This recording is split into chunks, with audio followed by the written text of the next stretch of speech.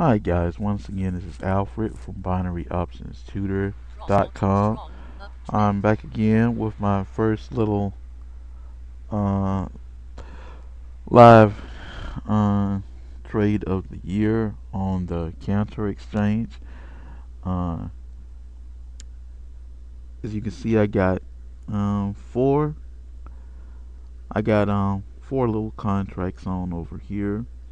Uh, again, still learning this exchange, waiting for liquidity to pick up, and then we can uh, scale up a bit more, a considerable bit more. Um, we're in a contract right here. We got four of these little micros on. Uh, the contract's out of the money right now. Let's look at their little chart. Okay. Uh, Right now we're about five, uh, five pips out of the money. Uh, you'll note that we got we have 40. Uh, let's call it about 41 minutes and some change here left on this contract, and uh, we got in at 109.30. They're they're running a little bit. They've they've been running all day. uh, this is Euro USD and it's this would be definitely a counter trend but let's take a look at the logic of why we got in. Okay right here um, some things that stuck out to me. This is our little uh, the count indicator. It's free available free on our site. We uh we're very close to the short count and this is R1 this is R2 this is R3 so this is this is a lot of volatility and essentially we're trying to sell the volatility. Now we're out of the money. We're still out of the money by four pips but we've got about 40 minutes left. Also looking over here statistically I can tell that this is the largest swing high in the prior 30 days. Uh, and we, we uh, 109.30 was very close to that. We're touching a new swing high in the 30 days. Uh, so I'm going to give some consideration to plugging in at 109.40. We'll we'll consider that if the market keeps running like this or we'll just sit it out and we'll see what happens with what we've already got on the table. It's again there's no need to run or, or chase the market and what's going on. And this is a counter trend. You don't want to get too caught up in uh, trading uh, against the predominant trend of the day Euro's been running all day. Uh, we may just uh, take it, you know, take it on the chin and uh, come back to trade another day. We may try and work our way out of it also, but I'm going to wait a little while. Uh, I'm going to pause right here and we'll, if if anything changes, I'll see you guys on the other side of the video or if I decide to sell out early because that's another option as well. The option of just taking it um, taking what I can get for the contracts I have which right now isn't much but maybe take that and roll it into some contracts at a higher number. You know that's a possibility as well. So uh, we'll we'll see. We'll see what's what's best what's what's really logical for us uh, and we'll we'll make that decision. Again always thinking it's not just about uh, strategies. And I just explained the, the strategy the logic that got me in. But really the advantage that you have is is just the the intuition and the you know the the mind that God gave you as I've mentioned before in these videos see you guys on the other side once again this is Alfred from binaryoptionstutor.com.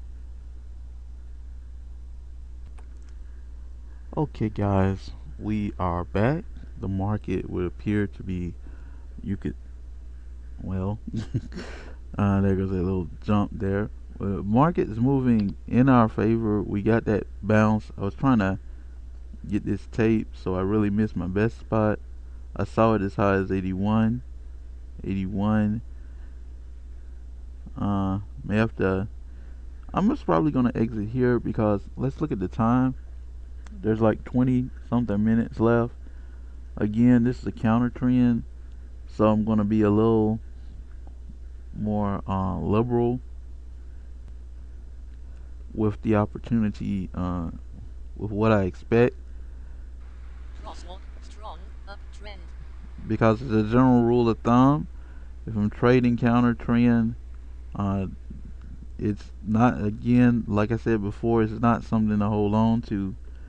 So I would usually leave early, which probably in most cases, especially when you see a, a nice pop, like I saw a pop all the way I paid about 51 cent a pop for these little contracts and I saw it go to 81 that was a good place to exit right there um, but I didn't want to exit and explain it later. I'm going to close. This is the spot option platform for Cantor and I'm going to use the close here because someone asked why was I using the other um, buttons I mean, there are some redundant buttons. I'm going to do another video about that. But um, this is, I guess, the way they want you to close out the contract by coming over here, uh, doing an instant or close. And I, I don't like to have a lot of slippage. There we go. Okay, I'm I'm not going to confirm that because price moved too much for me. Here we go.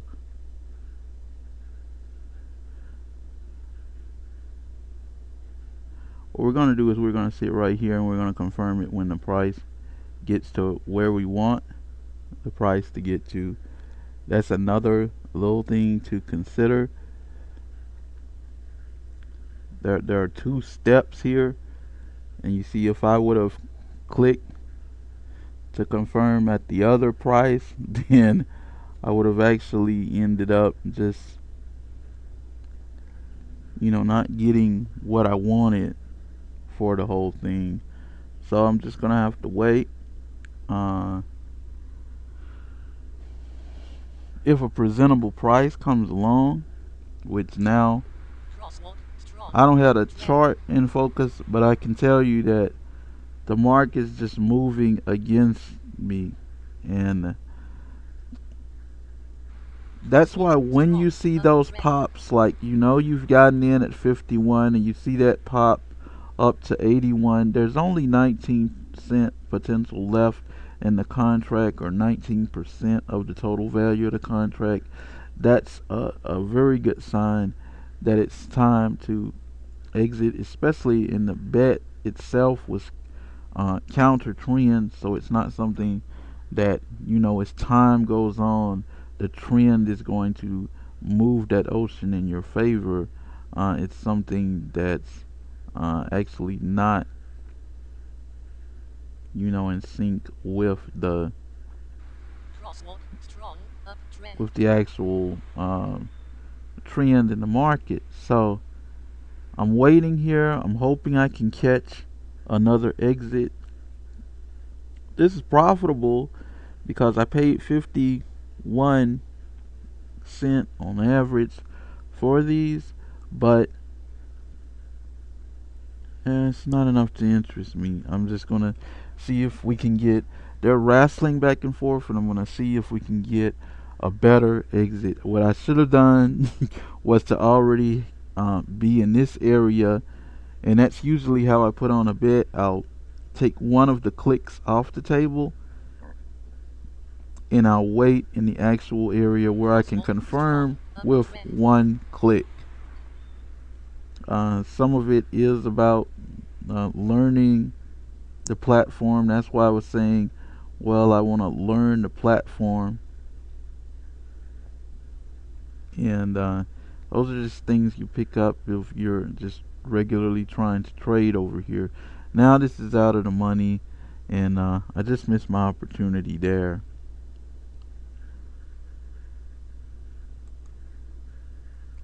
It happens sometimes. Uh, you know, it's uh, it's a part of doing business. Um, there's nothing up here at 40. There's nothing interesting for me here at 35 you can see we're really hovering around that number. This is our strike and we're really hugging it. Okay we just got a little pop there. Let's get set up.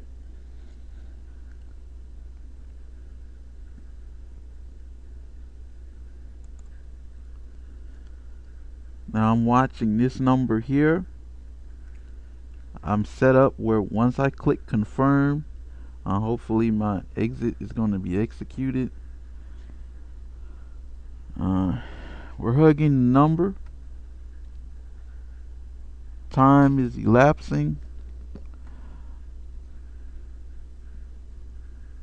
But again, the way that we got in, there's some time left in this contract. It was, we had 40 something minutes once we got into this contract and that means that there's some time left and it's tradable. So this is this is where we get to take advantage of the benefits of trading on an exchange giving yourself the time to really be able to plan not act so impulsively and take the time to actually uh, trade. Now I want to talk just a sec about the thought process. Is my time is running out on this contract. Now, I'm going to have to get a little bit more uh, liberal, let's say, is the time persist here. Because I'd rather leave with something than to leave with nothing. Now we're seeing some nice pops. If I can see a, a nice aggressive pop in the price, that's the place that I'll exit. Even if I can't get 81. And the reason is because again, there's this little hourglass. Now that's me.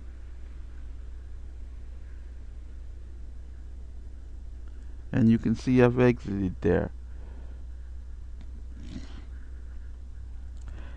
Now, there's this little hourglass that's running, and that hourglass, that sand was shifting on the time when there's actually profitability left in that contract. So that's why I decided to to uh, go ahead and sell. Now I was back at 81.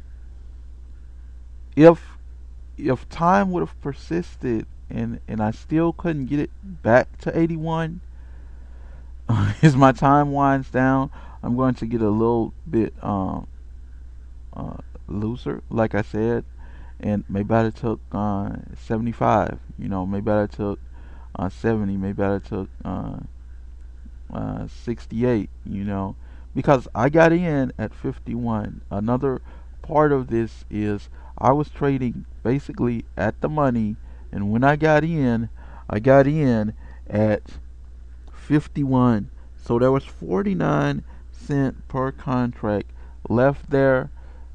Um, this is a minute chart. So it's a little easier to see. And you can see we're hovering back down uh, into that area.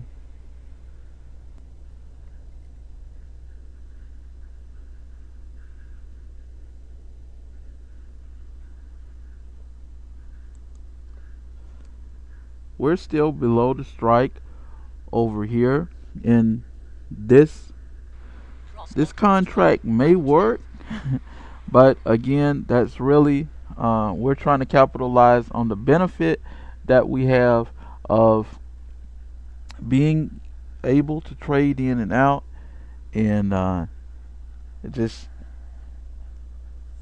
take everything to our advantage that we can. Now we're back hugging the strike, but at this point it really doesn't matter because we left with 81% of the total value of the contract.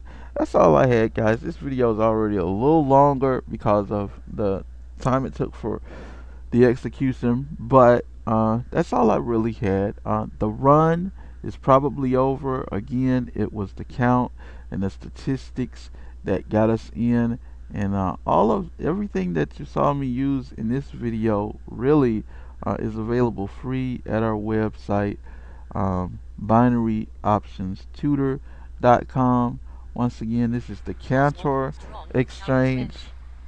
Um, you can find out more uh, about this um, broker uh, or this exchange I should say because this is the actual exchange. At uh, the Cantor Exchange cantorexchange.com, also cxmarkets.com, also on our website, binaryoptionstutor.com. Once again, this is Alfred.